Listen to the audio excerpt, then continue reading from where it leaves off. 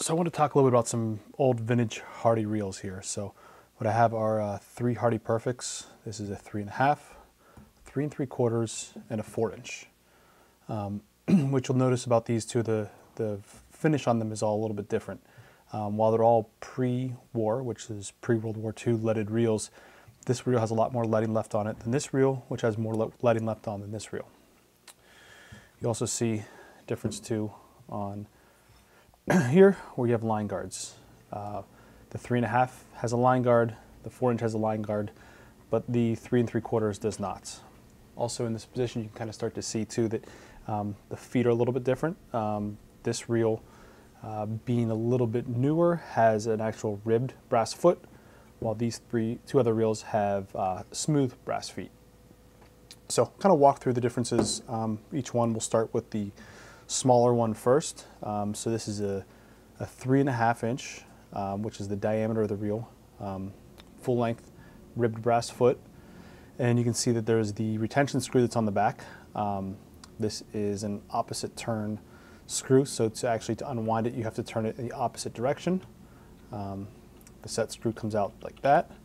And then once the set screws out, you actually can then back off the reel the opposite way that you wind and it exposes the internals. Um, this one being a duplicated Mark II check system.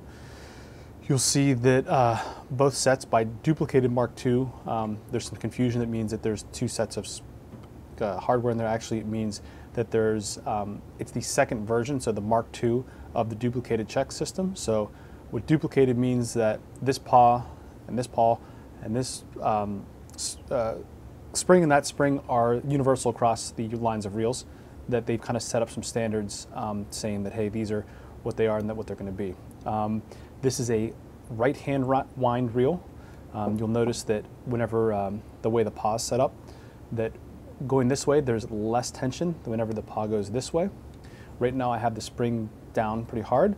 You can back that off and that'll be less tension on that spring. So whenever it comes back this way, which is the outgoing, there'll be a little more pressure. Um, the spare you can see is non-engageable. Um, bearings inside you'll see this set um, for the line guard. Um, but this is a uh, pretty clean example of a pre-war, um, late 1930s, early 1940s um, Hardy Perfect three and a half inch salmon. so this was called the salmon because these are the heavier springs and paws than their normal trout reels. Um, and you can see putting back on this set screw here, um, you're going to wind it the opposite way and give a little tighten down. I just do them with my thumb right now. Um, usually I'll do it with a penny, um, but nothing, not a power tool or anything like that. Um, I was mentioning that this is a pre-war um, leaded reel. You also see that the, uh, the name is written in the circles and there's also the size. Um, that's one thing that helps with dating is that whenever the size was put on, I think they stopped putting sizes on the reels, started putting sizes on the reels in like the late 20s. You can correct me if I'm wrong. Um, late 20s-ish, so 30s. So um, you can assume that the rib brass foot, the circle writing, sizes on there, this is going to be a um, 30s reel. Moving over next to the three and three quarters. Um, you can see that this one does not have a size written on it. It just has the, uh, the circle writing on there. Um, also, too, you'll start to see that the brass foot's on there, and being it's a little bit older, the actual um, regulator, the tension knobs are different. This is more of a hard lines. Um, you can see like the vertical lines kind of come up and, and meet the, uh, the flat top. It's kind of a harder line. This one, I've seen people call it like a rope tensioner screw. But it's actually kind of a little bit of, a, of an angled, um, little bit different um, part of a screw there.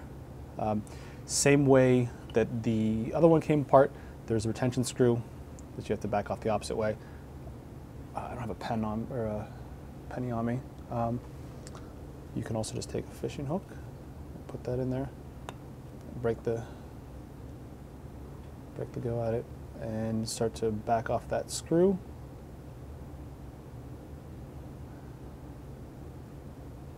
And as that screw comes out,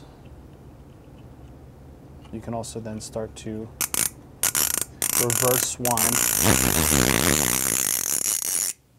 And you're coming off. So again, you can see a very similar system.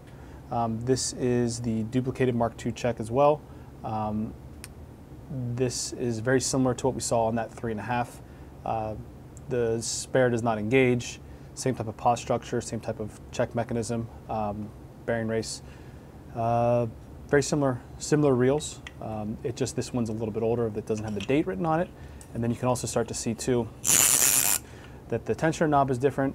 Um, foot is gone to a flat brass, and also on the back, um, you'll start to see that there's some difference in how they did the circles uh, around here.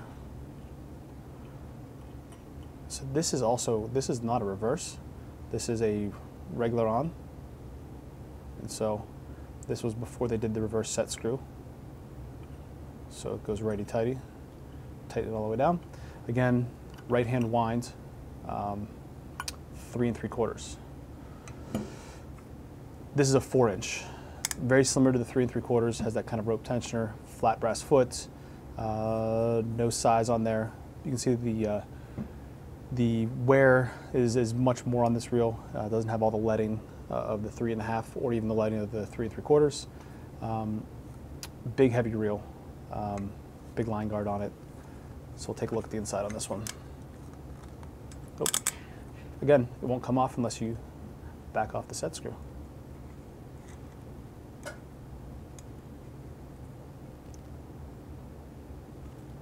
got to get my fishing hook in there. Uh, hold on, let me go to a, uh, let me get a penny real quick. All right, so I've got a coin here, and uh, it's really the easiest way to back off these screws.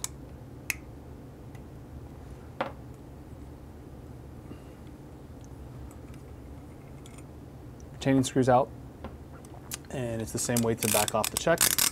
You can hear this this uh, this click is a little different I'll show you why in a second. Start to see that the hardware is a little bit different in here um, versus the other ones. These are actually the hanging paws where instead of the open gap in the side that there's, um, to get these ones out, you actually turn it sideways and it comes out through that piece there. Um, a little bit louder, a little bit of different sound um, check mechanism. Uh, again, duplicated Mark II. Um, same kind of rope style tensioner we saw on the three and three quarters, flat brass foot. Um, pretty much the same, but this is another, um, one thing about these Perfects, they're three piece reels. So you've got your winding plate, got your spool, got your cage. Um, pretty, pretty unique to the, the Perfect style of reel. And as you go to close these up, um, One thing that is also different about these reels too is you'll start to see a lot of them where the foot has been filed for modern reel seats. Um, so what happens is that guys get these reels, and sorry, I'm having a little trouble there. Um, guys will get these reels and they'll start to want to put them on a modern rod. And um, some of the older salmon rods, they had kind of like a um, uh, slide cork rings so they could fit any type size reel seat, um, sorry, reel foot.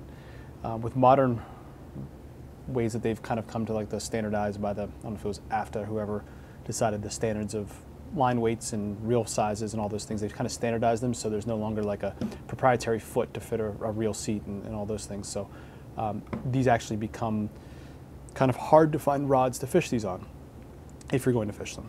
Um, I use a guy out in Oregon, Steve Godshall, who will refit a rod, um, put a new reel seat longer, wider that'll, it'll take these, but you can start to see that these are pretty big reels. Um, originally, traditionally made for salmon.